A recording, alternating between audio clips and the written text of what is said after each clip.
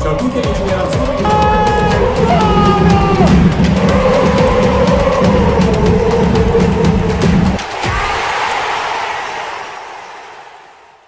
Ciao a tutti amici nerazzurri, buongiorno, bentornati sul canale, bentornati su Filippo Tramontana TV, eh, buona colazione se state vedendo questo video alla mattina presto. Allora ragazzi, um, io intanto vi ricordo eh, che oggi è mercoledì,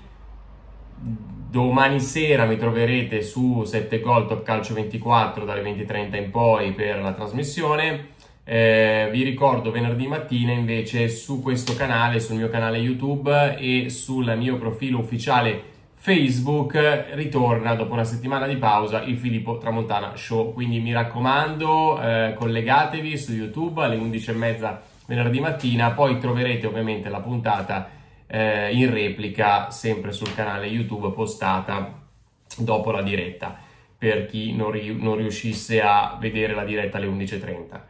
Detto questo, allora catapultiamoci un po' eh, sul recap di quello che è successo ieri con Acerbi cerchiamo di capire un pochino meglio quello che è successo nel CDA dell'Inter con notizie positive che sono arrivate da Zang che tutti davano per desaparecido eppure ieri ha condotto il CDA eh, mettendo altra liquidità eh, nel bilancio dell'Inter che è migliorato e ancora una volta ha fatto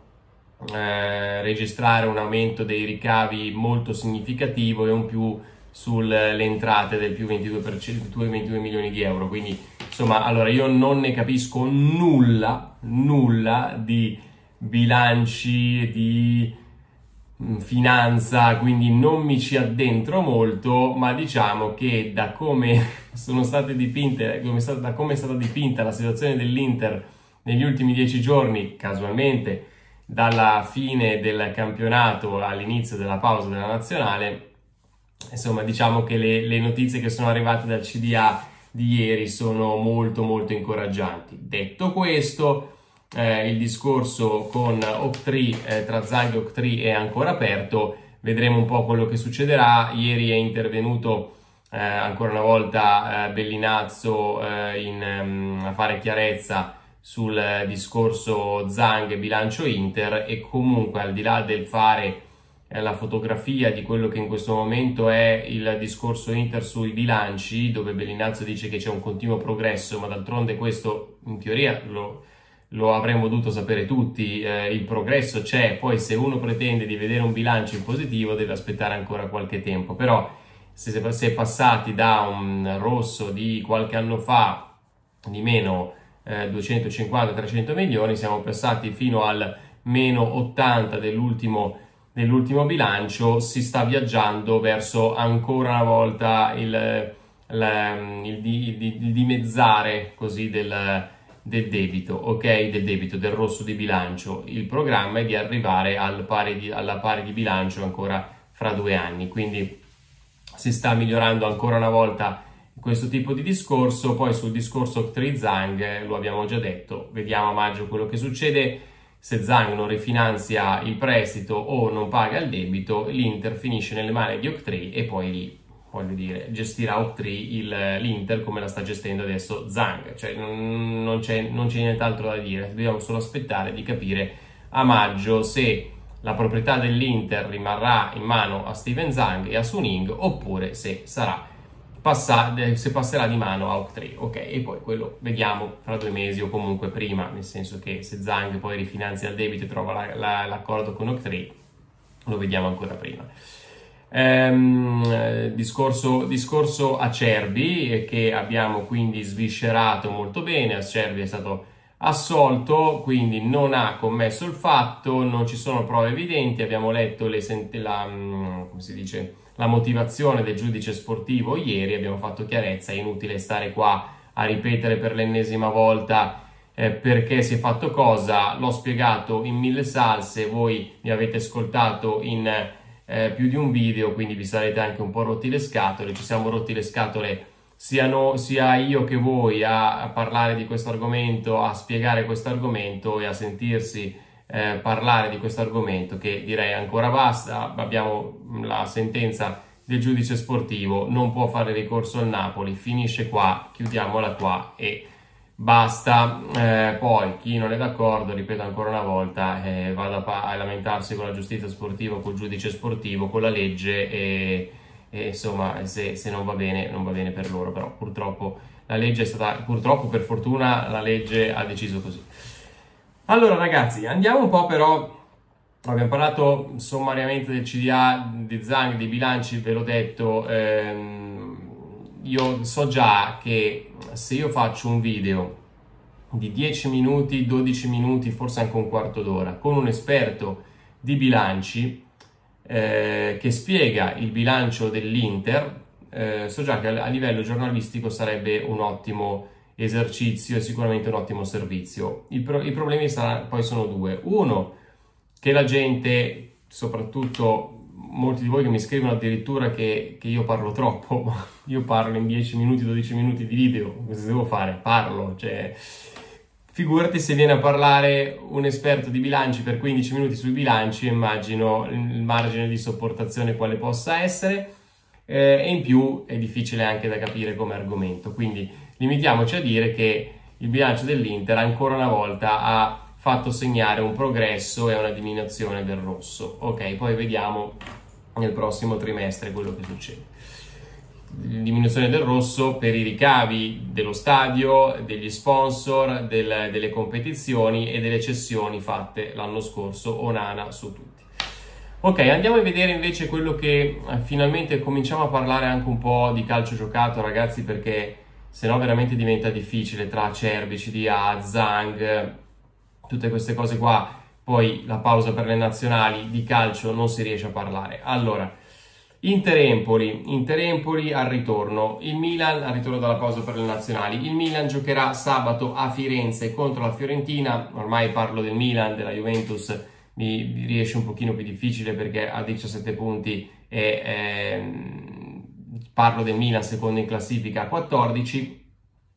Milan che va a Firenze senza lo squalificato Teo Hernandez in una partita comunque complicata perché Firenze è una trasferta eh, insidiosa, molto difficile, eh, con il Milan che ha comunque una classifica secondo posto molto molto serena in vista della qualificazione in Champions League con un vantaggio siderale sulla sesta in classifica dando per scontato che l'Italia quest'anno avrà 5, 5 squadre, le prime 5 squadre del campionato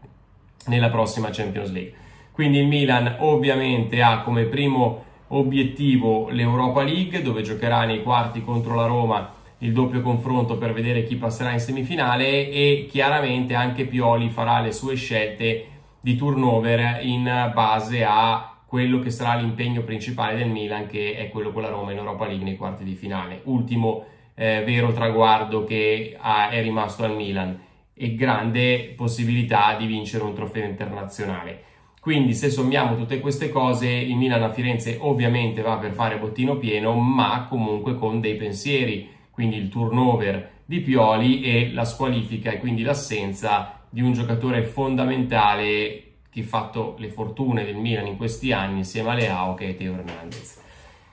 Quindi Milan giocherà sabato, l'Inter giocherà invece lunedì sera, la domenica è Pasqua, quindi non giocherà nessuno, il campionato verrà spezzettato tra e tra sabato e lunedì. Lunedì sera l'Inter scenderà in campo contro l'Empoli a San Siro sapendo già il risultato del Milan a Firenze. Se il Milan non dovesse fare bottino pieno a Firenze, per l'Inter si spalancherebbe un portone per andare a più 16 o eventualmente più 17 a 8 partite dalla fine, quindi praticamente eh, ipotecando lo scudetto perché stare a più 17 o a più 16 a 8 giornate dalla fine con 24 punti disponibili